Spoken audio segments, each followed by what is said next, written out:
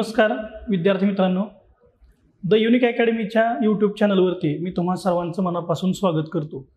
विद्यार्थी मित्रांनो तुम्ही आता P S I S T I A S O म्हणजे महाराष्ट्र अराजपत्रित सेवा संयुक्त मुख्य परीक्षा याचा अभ्यास करत असाल किंवा अनेक विद्यार्थी वेगवेगळ्या परीक्षा की ज्यामध्ये मराठी विषयाचा समावेश आहे अशा वेगवेगळ्या पदांचा अभ्यास करत असतील. तर यासाठी आपण काय करत आहोत की संभाव्य प्रश्न. याच्या अगोदर आपण साधारणपणे अठरा व्हिडिओ द युनिक अकॅडमीच्या यूट्यूब चॅनलवरती दिलेले आहेत की ज्या प्रत्येक व्हिडिओमध्ये साधारणपणे वीस प्रश्न आणि असे अठरा व्हिडिओ दिलेले आहेत ज्यामध्ये आयोगाचे प्रश्न आयोगानं याच्या अगोदर विचारलेले प्रश्न म्हणजे पी वाय क्यू आणि त्याची उत्तरं आणि त्याचं आपण सखोल असं विश्लेषण त्यामध्ये बघितलं. आता त्या अठरा यशस्वी व्हिडिओच्या नंतर आपण बघणार आहोत संभाव्य प्रश्न की ज्याला आपण सराव प्रश्न म्हणालात तरी चालेल ज्याला तुम्ही संभाव्य प्रश्न असं म्हणालात तरी देखील चालेल. विद्यार्थी मित्रांनो या व्हिडिओमध्ये आपण वर्ण संधी आणि शब्दांच्या जातींचे काही प्रश्न बघणार आहोत. साधारणपणे हे जे प्रश्न आहेत या प्रश्नांचं स्वरूप आपण असं ठेवलेलं आहे. या संभाव्य प्रश्नांचं की आतापर्यंत साधारणपणे दोन हजार अकरा किंवा बाराच्या नंतर आयोगाने प्रश्न विचारण्याची पद्धती बदलली. विद्यार्थी मित्रांनो आतापर्यंत आपण ज्या प्रश्नपद्धतीचा अभ्यास करायचो ती प्रश्नपद्धती ट्रॅडिशनल पद्धती होती. पण आतापर्यंत आयोगानं वेगवेगळ्या पद्धतीनं प्रश्न विचारण्याचा जो कल बदलला याच्यामध्ये जर तुम्ही बारकाईनं विचार केला तर सगळ्याच विद्यार्थ्यांना आता हे माहिती झालेलं आहे की गेल्या दहा वर्षापासून आयोग व्याकरण विचारत असताना वेगवेगळ्या पद्धतीनं म्हणजे काय? तर विधानात्मक प्रश्न जोड्या लावा अशा वेगवेगळ्या प्रश्नांच्या माध्यमातून प्रश्न विचारले जातात. आता महत्त्व या गोष्टीला आहेच की परंतु विद्यार्थी मित्रांनो तुम्हाला हे माहिती आहे का की तरी देखील विद्यार्थ्यांचे प्रश्न चुकतात. मग ते का चुकतात? बऱ्याच मुख्य दिलेल्या विद्यार्थ्यांचे फीडबॅक त्यांच्या अनुभवातून आपण प्रश्न का चुकलो याचं सविस्तर विवेचन आणि या संपूर्ण सर्वच घटकांचा आढावा घेऊन आपण या संभाव्य प्रश्नांना या ठिकाणी चर्चेला घेतो आहोत. पण नुसतं चर्चेला घेत नाही. तर मी काय करणार आहे की त्या त्या प्रश्नांच्या उत्तरानंतर तो प्रश्न कसा टॅकल करावा? त्या प्रश्नाचं उत्तर तेच का आहे?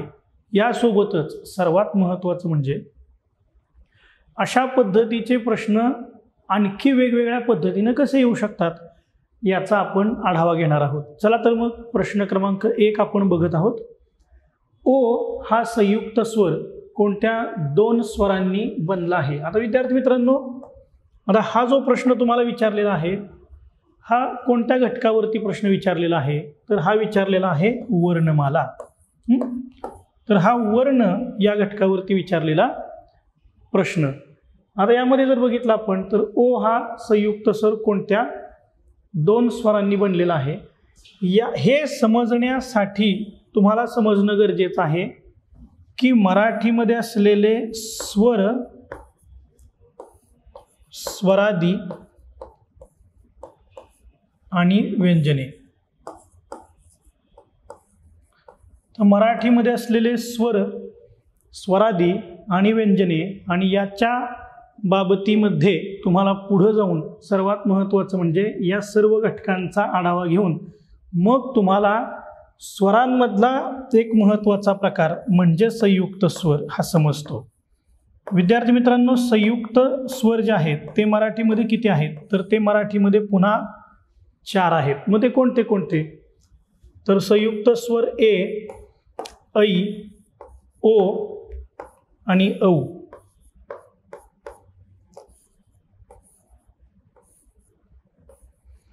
आता ए ऐ ओ आणि औ हे जे चार संयुक्त स्वर आहेत यांचा जर आढावा घेतला तर ही कसे तयार होतात? तर अ अधिक ई आ अधिक ई अ अधिक उ आणि आ अधिक उ.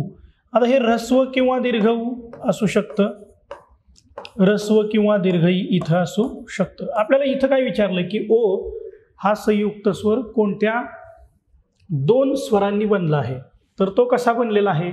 तर अ अधिक उ या स्वरांनी बनलेला आहे. आता हे मी तुम्हाला जे विश्लेषणात्मक पद्धतीनं सांगितलेलं आहे यामध्ये मला तुम्हाला हे सांगायचं आहे की अशा पद्धतीचे ज्यावेळी प्रश्न येतात त्यावेळी विद्यार्थी काय करतात?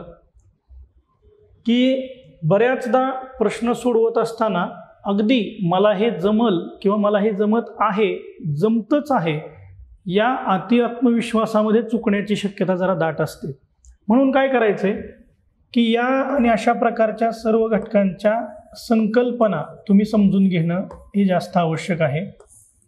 संकल्पना समजून घ्या त्यानंतर सर्व घटकांच्या व्याख्या समजून घ्या. विद्यार्थी मित्रांनो एक महत्त्वाची बाब लक्षामध्ये घ्या की तुम्हाला कोणत्याही घटकाचा आढावा घ्यायचा असेल तर सर्वात महत्त्वाचं काय आहे? तर अगोदर त्या घटकाचा बेसिक पार्ट ज्याला आपण म्हणतो तो तुम्ही व्यवस्थितपणे करणं गरजेचं आहे. आता बघा आपण दुसरा प्रश्न या ठिकाणी बघूयात. वाक्य या शब्दाची योग्य व्याख्या सांगा. अगदी व्याख्येच्या स्वरूपात प्रश्न आलेला आहे. याच्या अगोदर आयोगानं वाक्य याची जी व्याख्या विचारली होती ती अशी होती की शब्दांच्या अर्थपूर्ण समूहाला वाक्य असे म्हणतात. हे आयोगानं विचारलेलं आहे. आता आपले विचार पूर्णपणे व्यक्त करणारा एक किंवा अनेक शब्दांचा समूह म्हणजे वाक्य होय. ही व्याख्या या ठिकाणी बरोबर आहे. पण एक महत्त्वाचं लक्षात घ्या. ज्यावेळी तुम्हाला विधानात्मक किंवा वाक्य या स्वरूपावर आधारित प्रश्न विचारले जातात त्यावेळी तुमची जबाबदारी काय आहे की तुम्ही या ठिकाणी या संपूर्ण चारही व्याख्या व्यवस्थितपणे वाचणं आणि त्या वाचल्याच्या नंतर मग पुढे त्याचा आढावा घेणं अर्थ समजून घेणं गरजेचं आहे. आपल्याला दुसरी व्याख्या दिलेली आहे. जो अक्षर समूह क्रमाने आलेला असतो त्याला वाक्य म्हणतात. तीन वाक्य म्हणजे विचार सुसंगतपणे व्यक्त करण्याचे साधन. आणि चार क्रमागत येणारा शब्दसमूह म्हणजे वाक्य. आता तुम्ही म्हणाल की या तीन व्याख्या ज्या आहेत त्या बरोबर आहेत का? तर विद्यार्थी मित्रांनो हो. मग चूक का? तर ते चूक नाही आहे तर या चार विधानांपैकी किंवा चार व्याख्यांपैकी जी व्याख्या जास्तीत जास्त बरोबर आहे ती तुमचं उत्तर असायला हवं. ही आहे आयोगाची बदललेली स्ट्रॅटेजी आता बघा थोडक्यामध्ये काय करणं गरजेचं आहे? तर तुम्ही दिलेले जे प्रश्न आहेत त्याचा व्यवस्थितपणे आढावा घेत असताना तुमच्या लक्षात हे येणं गरजेचं आहे. की आयोग आपल्याला जे चार पर्याय देईल त्यात चार पर्यायांपैकी जो जास्तीत जास्त योग्य पर्याय आहे तो निवडणे. योग्य पर्याय ओळखा. पुन्हा एकदा बघा अशा पद्धतीचे प्रश्न आयोगाने विचारायला सुरुवात केलेली आहे की ज्यामध्ये तुम्हाला थोडीशी प्रश्नांची काठिण्य पातळी मोठी होत आहे. प्रश्नांचा आवाका वाढल्यासारखा वाटतो पण जर तुमच्या संकल्पना क्लिअर असतील तर तुम्हाला हा प्रॉब्लेम येणार नाही. बघा ज्या वर्णांचा उच्चार स्वतंत्रपणे म्हणजेच दुसऱ्या वर्णांच्या मदतीशिवाय होतो त्यास स्वर असे म्हणतात. स्वर हे नेहमी स्वतंत्रपणे उच्चारलेले असतात. ॲ अ हे दोन इंग्रजी स्वर आपण वर्णमालेमध्ये समाविष्ट केलेले आहेत. आपण ज्यावेळी स्वरांचा उच्चार करतो त्यावेळी हवेचा मार्ग अडवलेला असतो. तर विद्यार्थी मित्रांनो हे जे चौथं वाक्य आहे तर स्वरांचा उच्चार करताना हवेचा मार्ग कधीच अडवलेला नसतो. म्हणून पर्याय क्रमांक एक दोन आणि तीन हे पर्याय बरोबर आहेत जे की उत्तरामध्ये आपल्याला दिलेलं आहे. पुढील प्रश्न आपण बघत आहोत. जोड्या लावा. जोड्या लावामध्ये आपल्याला आता जर आपण आढावा घेतला तर एक लक्षात येतं. इथं मी जाणीवपूर्वक जोड्या लावाचा प्रश्न का घेतलेला आहे? तर त्याचं मूळ कारण हे आहे की साधारणपणे दोन हजार पाचची राज्यसेवा मेन्स घ्या. किंवा सॉरी दोन हजार पंधराची राज्यसेवा मेन्स किंवा सोळाची मेन्स घ्या. विद्यार्थी मित्रांनो साधारणपणे आठ ते दहा जोड्या लावांचे प्रश्न आपल्याला विचारलेत. एकाच प्रश्नपत्रिकेमध्ये. परिणामी आता काय होतं की एक विधानात्मक किंवा जोड्या लावा याच्यावर आधारित अनेक प्रश्न आपल्याला विचारले जात आहेत. स्वरादी सजातीय स्वर विजातीय स्वर आणि दीर्घस्वर हे आपल्याला विचारलेलं आहे. आता आपल्याला हे माहिती आहे की दीर्घस्वर कोणते? तर दीर्घ ऊ आणि औ लगेचच आपल्याला ते ओळखू येतात. स्वरादी कोणते? तर अनुस्वार आणि विसर्ग. सजातीय स्वर कोणते? तर अ आणि आ. विजातीय स्वर कोणते? तर अ आणि ओ परिणामी अ ब क आणि ड हे सलग पर्याय आपल्याला असलेला चौथा जो पर्याय आहे तो पर्याय बरोबर आहे. पुढे जाऊयात आपण. वर्ण विचारामध्ये मूर्धन्य वर्णाचा विचार करण्यात आलेला आहे. यामध्ये क ख या स्पर्श व्यंजनांचा उल्लेख येतो. त्यानंतर अनुनासिकांचा समावेश होतो. क ट ठ ही कठोर व्यंजने पहावयास मिळतात आणि ड ज्या वर्णांचा उच्चार होताना मुखावाटे जोराने उसासा बाहेर पडतो त्यांना उष्मे म्हणतात. तर याच्यामध्ये जर बघितलं आपण तर काय विचारले आपल्याला? वर्ण विचारामध्ये मूर्धन्य वर्णांचा विचार यामध्ये करण्यात आलेला आहे. तर उत्तर आहे पर्याय क्रमांक तीन क म्हणजे ट ठ ही कठोर व्यंजने यामध्ये पहावयास मिळतात. मराठी भाषेचे शिवाजी म्हणून कोणाला ओळखले जाते? तर याचं उत्तर आहे बाळशास्त्री जांभेकर. पुढे बघा. लिपीचा शोध लागल्याने आपल्याला काय शक्य झालेले आहे? तर लिपीचा शोध लागल्याने आपल्याला लेखन शक्य झालेले आहे. विद्यार्थी मित्रांनो आपल्याला भाषा कौशल्ये जी आहेत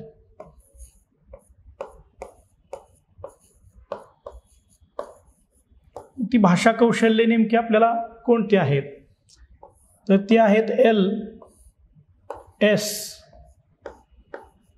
आर आणि डब्ल्यू. ही भाषा कौशल्य आपल्याला आहेत. एल म्हणजे लिसनिंग स्पीकिंग रीडिंग आणि रायटिंग यामध्ये लिपी जी आहे ती लिखाणामध्ये येते. आणि लिपीमुळे म्हणजे लेखनकलेमुळे आपल्याला काय शक्य झालं तर? लेखन शक्य झालं. विद्यार्थी मित्रांनो त्याच्या अगोदर उच्चार म्हणजे भाषा होती परंतु ती कोणती भाषा होती? तर नैसर्गिक भाषा होती. पुढे खालीलपैकी जोडाक्षरयुक्त अचूक शब्द ओळखा.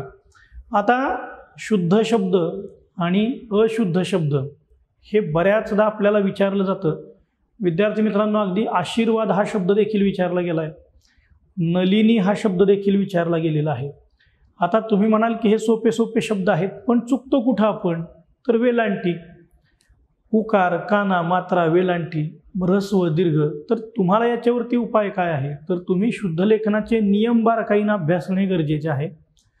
दुसरी महत्त्वाची बाब विद्यार्थी मित्रांनो मी सात सातत्यानं हे सांगेन की अभ्यास करताना जी सगळ्यांना एक ट्रॅडिशनल मेथड माहिती आहे सगळ्यांना हे आता माहिती झालेलं आहे की आयोगानं प्रश्न विचारण्याची पद्धत बदललेली आहे. त्या गोष्टीला आता दहा वर्षे झाली. आयोग आता विधानात्मक प्रश्न विचारत आहे जोड्या लावावर विचारत आहे. हे तर सगळ्यांना माहिती आहे. मग तुम्ही वेगळं काय करणं गरजेचं आहे? तर आयोगाप्रमाणे विचार करायला शिका. आयोग प्रश्न विचारत असताना कसा प्रश्न विचारेल? की ज्यामुळे विद्यार्थी म्हणजे आपण चुकू शकेल असा विचार तुम्ही करायला शिका आणि प्रश्न बनवा. आणि मग तुमची प्रश्न आणि त्याची उत्तरं चुकणार नाहीत याची काळजी घ्या. यामध्ये तुमचा चौथा पर्याय बरोबर आहे. तो म्हणजे अनुक्रम. कारण इथं बघा पहिला पर्याय अनुक्रम. इथं क दोन वेळा दुसरा पर्याय जो आहे अनुरकम.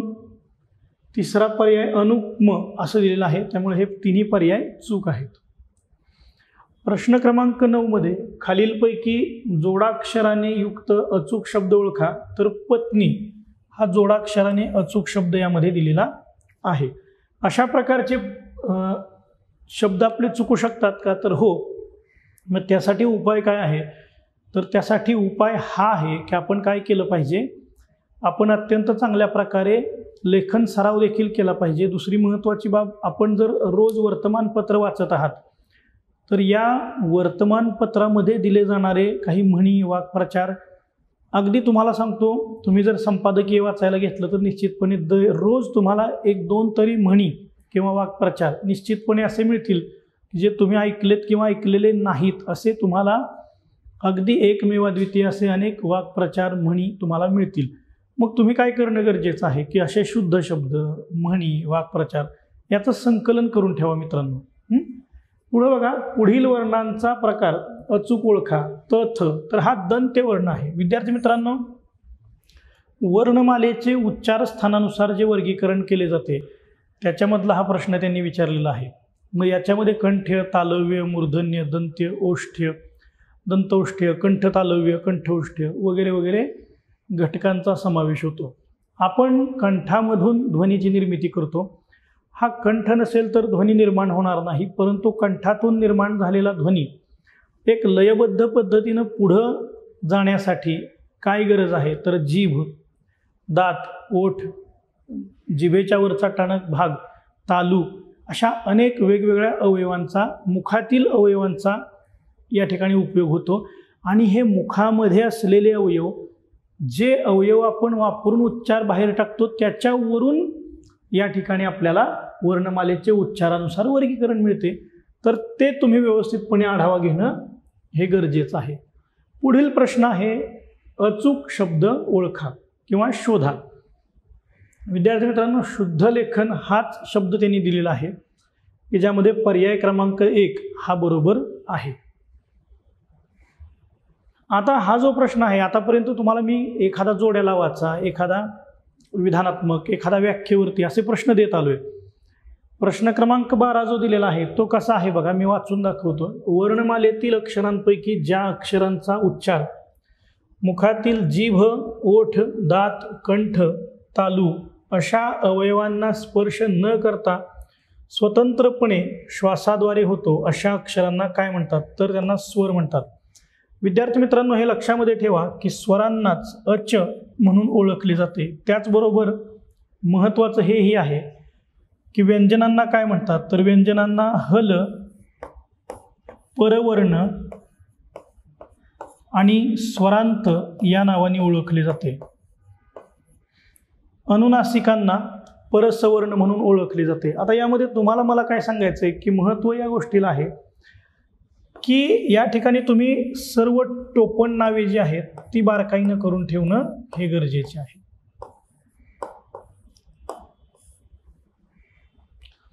पुढील प्रश्न आहे खालीलपैकी कोणता वर्ण अर्धस्वर नाही? तर हा ए हा अर्धस्वर नाही. कारण दुसरे कोणते य र ल आणि व हे अर्धस्वर असतात. खालीलपैकी कोणता वर्ण कंपित वर्ण आहे? तर र हा कंपित वर्ण आहे. मग कंपित वर्ण म्हणजे काय? तर कंपित वर्ण म्हणजे ज्या वर्णांचा उच्चार करताना कंपन होते. उदाहरणार्थ र. र असं म्हणताना मुखामध्ये कंपन होत आहे. पुढे बघा की नाकातून होणाऱ्या ग ण न म या वर्णांच्या उच्चाराला काय म्हणतात? तर ती अनुनासिके आहेत. अनु अनुनासिकांनाच परसवर्ण म्हणून देखील ओळखले जाते. पुढे खालीलपैकी इंग्रजी स्वरांची जोडी कोणती? तर ॲ आणि ऑ ही इंग्रजी स्वरांची जोडी आहे. विद्यार्थी मित्रांनो इंग्रजी भाषेतून मराठीमध्ये दोन हजार नऊ रोजी दोन नवीन स्वर आले. असा जी आर म्हणजे गव्हर्मेंट रिझॉल्युशन ज्याला म्हणतो आपण तो या ठिकाणी उपलब्ध असल्याचं आपल्याला दिसतं. पुढे बघूया आता विद्यार्थी मित्रांनो. व्यंजनांना अक्षरत्व येण्यासाठी काय करावे? तर दोन व्यंजनांचे एकत्रीकरण व्यंजन व स्वर यांचे एकत्रीकरण दोन स्वरांचे एकत्रीकरण आणि व्यंजनामधून स्वर काढून टाकणे. लगेचच आपल्या लक्षात येतं की यामध्ये दोन पर्याय उत्तराच्या जास्त जवळ पोहोचत आहेत त्यामध्ये पहिला प्रश्न प पर्याय आहे दोन व्यंजनांचे एकत्रीकरण आणि दुसरा पर्याय आहे व्यंजन व स्वर यांचे एकत्रीकरण. आपल्याला लगेच यामध्ये आढावा घेता येतो. तर दुसरा जो पर्याय आहे तो आपल्याला जास्तीत जास्त बरोबर असल्याचे जाणवते. पुढे बघा की मूर्धन्य वर्णांचा गट ओळखा. तर यामध्ये पर्याय क्रमांक दोन ट ठ ड ढ ण ण बाणाचा हा मूर्धन्य वर्णांचा गट आहे. विद्यार्थी मित्रांनो मूर्धन्य म्हणजे काय? तर जिभेचा मूर्धेला किंवा मूर्धेच्या उपयोगाने ध्वनी जे बाहेर पडतात ते मूर्धन्य. मग मूर्धा नेमके असते कुठे? तर कंठाच्या वर आणि जिभेच्या मागे जी छोटी पडजीभ आहे बघा ती जिथं घर्षण करते तुम्ही जर र असं म्हणालात र तर ती जिथं कंपन होते ना तो जाड आणि मऊ भाग म्हणजे मूर्धा. आणि त्याच्या माध्यमातून जे उच्चार बाहेर पडतात ते मूर्धन्य म्हणून ओळखले जातात. त्यानंतर बघा च च्या वर्गातील च छ ज झ या वर्णांचा उच्चार. टिंबटिंब असा दुहेरी होतो. तर तालव्य आणि दंत तालव्य. विद्यार्थी मित्रांनो तालव्य आणि दंत तालव्य. या बाबतीमध्ये एक लक्षात घ्या. की तालव्य आणि दंततालव्यमध्ये आपल्याला फरक हा समजून घेणं गरजेचं आहे. की जरी च छ ज झ असं असतील तर यापैकी एक हा अयुक्त आणि दुसरा ययुक्त असा मानावा लागतो. परिणामी आपल्याला तालव्य आणि दंत तालव्य हे समजून घ्यावे लागतात.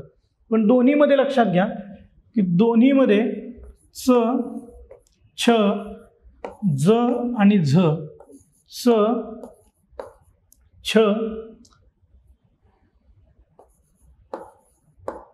ज आणि झ या दोन्हीचा यामध्ये समावेश केला जातो. म्हणजे हे एकसारखेच आहेत बघा. इथं प्रश्न हाच विचारला आहे की च च्या वर्गातील च छ ज झ या वर्णांचा उच्चार टिंबटिंब असा दुहेरी होतो. या यातला महत्त्वाचा शब्द कोणता? तर महत्त्वाचा शब्द आहे दुहेरी. यावरून तुम्हाला उत्तरापर्यंत पोहोचता येतं. त्यानंतर बघा संधी फोडीबद्दल खालीलपैकी चुकीची जोडी शोधा. तर तेजस अधिक कण बरोबर तेजक कण. ही यापैकी योग्य जोडी मानली जाते. कारण की या ठिकाणी आपण बघू शकतो की स जो आहे त्याचा विसर्ग झाल्याचा आपल्याला दिसतं. त्यानंतर संधी फोडीबद्दल खालीलपैकी चुकीची जोडी कोणती? तर घर अधिक ई बरोबर इथं घरे यायला हवं होतं. मात्र इथं आलेलं आहे. घ घरी असं यायला हवं होतं. मात्र इथं त्यांनी घरे असं दिलं. परिणामी ही चुकीची जोडी आहे. म्हणून पर्याय क्रमांक दोन चूक आहे. बाकीच्या ज्या जोड्या आहेत त्या अगदी बरोबर आहेत. खिडक्या अधिक आत हो अधिक उ गेली अधिक आहे. ह्या जोड्या बरोबर आहेत. क्षुत पिपासा या शब्दाचा योग्य संधी विग्रह कोणता? तर क्षुध अधिक पिपासा. हा याचा संधी विग्रह बरोबर आहे.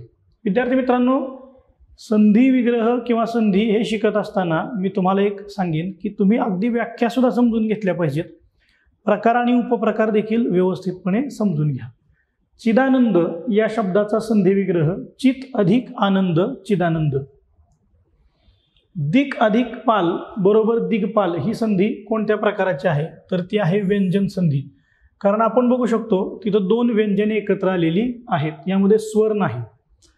पंचवीसावा प्रश्न आहे खालीलपैकी मराठीतील पररूप संधीचे उदाहरण कोणते?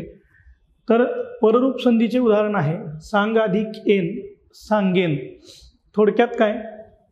तर जे अ अधिक ए यापैकी ए जे आहे म्हणजे दुसरे पद जे आहे ते कायम राहिलेले आहे. म्हणून त्या ठिकाणी पररूप संधी. पुढीलपैकी संधी विग्रहाच्या नियमानुसार गटात न बसणारा शब्द कोणता? तर त्यामध्ये आहे तो म्हणजे दु अधिक जन दुर्जन. हा गटात बसत नाही का? कारण बाकीच्या शब्दांमध्ये बघा तुम्ही श दु अधिक काळ दुष्काळ नि अधिक कारण निष्कारण नि अधिक फळ निष्फळ किंवा नि अधिक फल निष्फल हे एक सेम येतं. प्रश्न क्रमांक सत्तावीस आहे. पुढील पर्यायांपैकी व्यंजन संधीचे उदाहरण कोणते? तो अचूक पर्याय निवडा. तर हस्तीन अधिक दंत हस्तिदंत हा अचूक पर्याय यामध्ये आहे. प्रश्न क्रमांक अठ्ठावीस आहे. खालील जोड शब्दातील पर्यायी उत्तरातील कोणते पोट शब्दाचे उत्तर बरोबर आहे? त्यामध्ये वाकताडण वाघ अधिक ताडन बरोबर वाकताडण या ठिकाणी मी इथं लिहून दिलं मित्रांनो हे उत्तर या ठिकाणी बरोबर आपल्याला जाणवतं. पुढं बघा. उमेश या शब्दात एकत्र येणारे स्वर कोणते? तर याचा विग्रह कसा येतो? तो लिहून देतोय मी तुम्हाला. तर उमा अधिक ईश. तर उमा अधिक ईश असं येतं. त्यावेळी बघा आ अधिक ई. दीर्घ ई एकत्र येतात. मग हा पर्याय कुठं आहे? तुम्हाला बघावं लागेल. तर हा पर्याय पर्याय क्रमांक दोन. उमा म्हणजे पार्वती. समानार्थी शब्द म्हणून पण विचारलं जाईल. पुढं बघा. अनुषंग हा शब्द खालीलपैकी कोणत्या पोट शब्दातून बनला आहे? तर अनु अधिक संघ बरोबर अनुषंग हा तयार झालेला आहे. त्यानंतर उल्लंघन या शब्दातील संधीचा विग्रह खालीलपैकी पर्यायातून ओळखा. तर उत अधिक लंघन बरोबर उल्लंघन. बाकी विद्यार्थी मित्रांनो हे पर्याय चूक आहेत. उल अधिक लंघन ऊस अधिक लंघन आणि उल अधिक अंघन हे चूक आहे पुढे संधी सोडवा तेजपुंज याच्यामध्ये तेज अधिक पुंज हे बरोबर आहे. तुम्ही म्हणाल की मग इथंही विसर्ग आलेला आहे तिथंही विसर्ग आलेला आहे. तर हो यामध्ये वेगळं कोणताही बदल होणार नाही. त्यानंतर प्रश्न क्रमांक तेहतीस इथं तुम्हाला थोडासा विधानात्मक प्रश्न जाणवेल. एकत्र येणाऱ्या दोन वर्णांपैकी एक स्वर व दुसरा व्यंजने जोडणे. व्यंजन संधीबद्दल विचारले आपल्याला सरळ सरळ त्यांनी. थोडक्यामध्ये काय विचारलेली आहे तर व्याख्या विचारलेली आहे किंवा योग्य शब्द असं त्यांनी योग्य विधान या अर्थानं विचारले दोन एकमेकांशेजारी येणारी दोन व्यंजने जोडली जाणे म्हणजे बरोबर आहे हे. तीन एकत्र येणारे वर्णातील पहिला विसर्ग ही इथंच हा पर्याय चुकतो कारण विसर्ग व्यंजन संधीमध्ये फार समाविष्ट होणार नाही. चार एकत्र येणाऱ्या वर्णातील पहिला विसर्ग इथं हा पर्याय गेला. म्हणजे पर्याय कट करता आले पाहिजेत तुम्हाला. त्यातून तुमचा वेळ वाचतो विद्यार्थी मित्रांनो. त्यानंतर प्रश्न क्रमांक चौतीस आहे मनोरंजन या शब्दाचा संधी विग्रह. तर मन अधिक रंजन बरोबर मनोरंजन हा या ठिकाणी बरोबर आहे. प्रश्न क्रमांक पस्तीस पुन्हा एकदा जोड्या लावा. खाली मराठी व्याकरणातील संधीचे काही प्रकार आणि त्यांची उदाहरणे दिलेली आहेत. संधी आणि उदाहरणे. विद्यार्थी मित्रांनो सजातीय स्व सजातीय स्वरसंधी विजातीय पूर्वरूप आणि पररूप. म्हणजे आपल्याला थोडक्यामध्ये काय? इथं स्वर हा घटक महत्त्वाचा जाणवतो. यामध्ये मग सजातीय स्वरसंधी कोणती? गोल अधिक आकार गोलाकार. मग अ यासाठी तीन असलेला पर्याय आहे का? तर आहे. एक पर्याय. बाकीचे पर्याय तुम्हाला बघण्याची पण गरज राहणार नाही. कारण इतर कुठेही एकसाठी असाठी तीन हा पर्याय नाही. पण दुसरा बघा. ब विजातीय स्वरसंधी. याच्यामध्ये चार. राम अधिक ईश्वर रामेश्वर. त्यानंतर क ला दोन म्हणजे पूर्वरूप संधी. नाही अधिक असा नाहीसा आणि पररूप संधी भेट अधिक ऊन भेटून. हा पर्याय बरोबर आपल्याला जाणवतो. तर अशा पद्धतीने विद्यार्थी मित्रांनो आता या व्हिडिओमध्ये आपण वर्ण आणि संधी या दोन घटकांचा अगदी बारकाईनं आढावा घेतलेला आहे. पुढील व्हिडिओमध्ये आपण काय करणार आहोत की शब्दांच्या जातींवरती चांगल्या प्रकारे आपण फोकस करूयात. त्याचे संभाव्य प्रश्न बघूयात. त्यामुळे येणारे जे व्हिडिओ आहेत ते अशाच पद्धतीने बघत राहा जेणेकरून तुम्हाला येणाऱ्या मुख्य परीक्षेला मार्गदर्शक ठरतील. धन्यवाद.